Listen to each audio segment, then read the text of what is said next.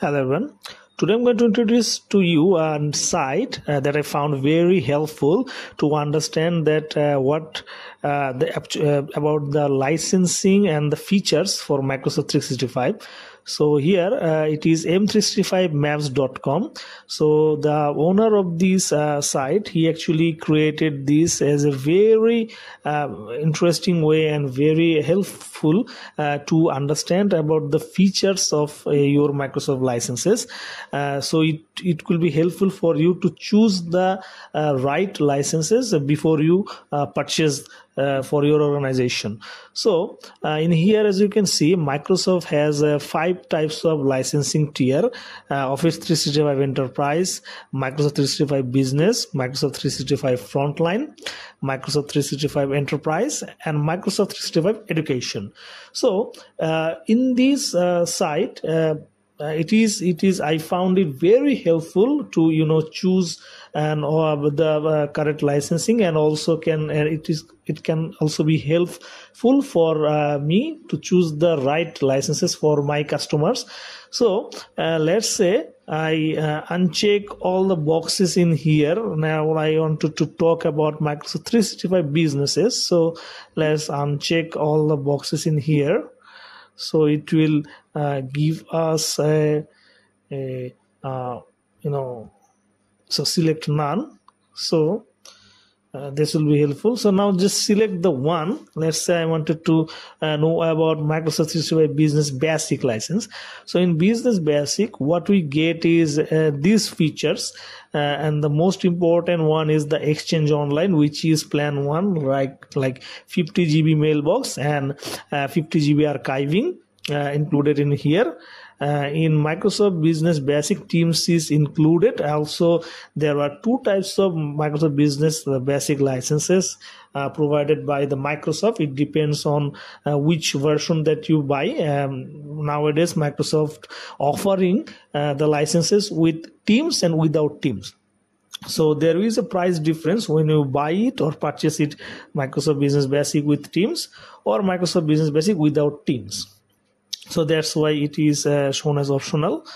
And also uh, you can see in OneDrive you will find uh, one terabyte of uh, plan. And also SharePoint Online Plan one is in here. And also Microsoft Entra ID uh, and then uh, for Windows the these are included. So it is a very detailed way to show that what uh, you will get to this uh, if you purchase these licenses. So what are in there or what are, what are not in there so you will find it in here. So uh, let's uh, compare this with the business standard. So as you know in business standard and business basic is uh, more or less is a, is the same licenses but the the very difference is in business standard you will get the microsoft 365 apps so uh, you will get the excel powerpoint and uh, outlook uh, in in the desktop version. But in business basic you will not get the apps one. So just click in here and you will see the features. It's same similar feature okay uh, some uh, some of the uh, you know added like clipchamp or uh, loop workshop but these are actually not uh, widely used by the users.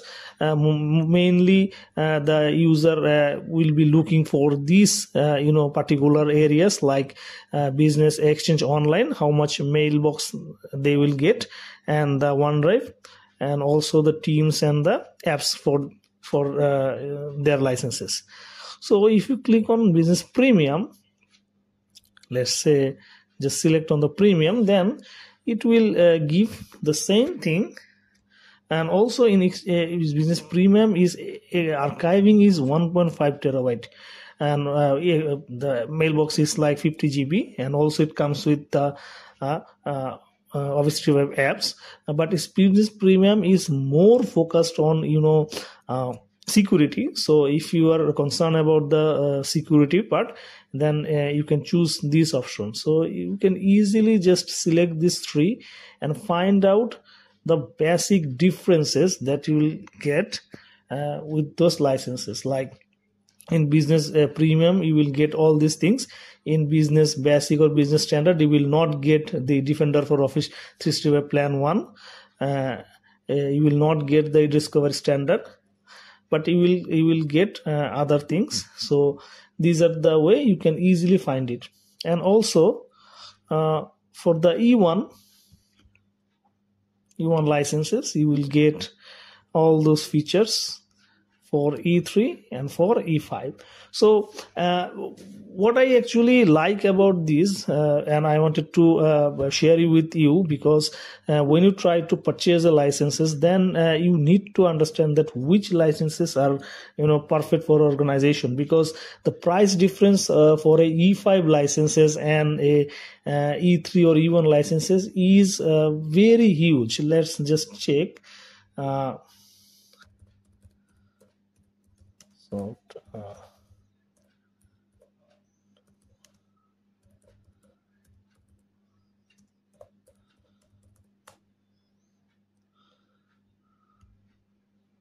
so if you check on these enterprise licenses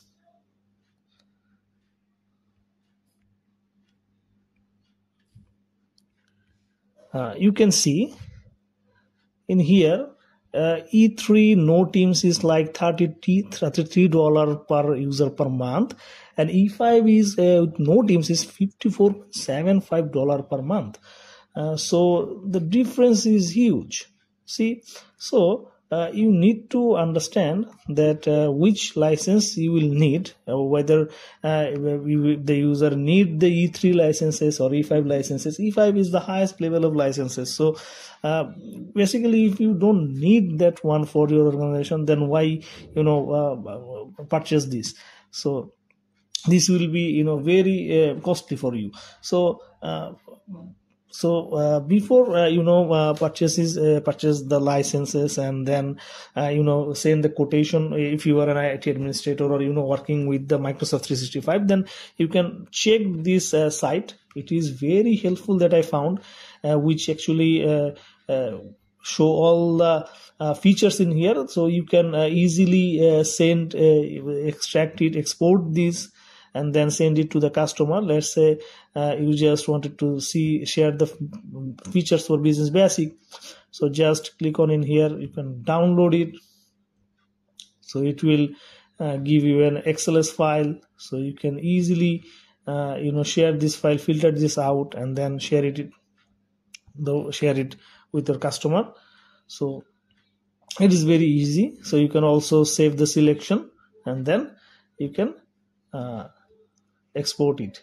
So uh, i hope that uh, i found it very interesting and i found it very helpful uh, for me to uh, understand and choose the right product. So you can look look this up and and see that uh, uh, you can you can be helpful for this. So that's it for today. Thank you